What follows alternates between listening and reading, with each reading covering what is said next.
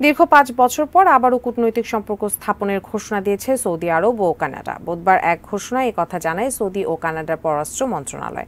নভেম্বরে থাইল্যান্ডের ব্যাংককে অনুষ্ঠিত এশিয়া ইকোনমিক ফোরামের সাইডলাইনে কানাডার প্রধানমন্ত্রী জাস্টিন ট্রুডো ও সৌদি যুবরাজ মোহাম্মদ বিন সালমানের মধ্যে এক বৈঠকে এই বিষয়ে বিস্তারিত আলোচনা হয়। সৌদি বংশভূত মার্কিন সাংবাদিক সালমান খাশোগির হত্যাকাণ্ড ও সৌদি আরবে মানবাধিকার কর্মীদের কারাদণ্ড ইস্যুতে দু হাজার আঠারো সালে কানাডার সঙ্গে দ্বন্দ্ব শুরু হয় সৌদি আরবের। এর জেরে কানাডার রাষ্ট্রদূতকে বহিষ্কার ও ওটোয়ায় থাকা নিজ রাষ্ট্রদূতকে ফিরিয়ে আনে সৌদি আরব। তখন থেকে ছিন্ন হয়ে পড়ে দুই দেশের কূটনৈতিক সম্পর্ক।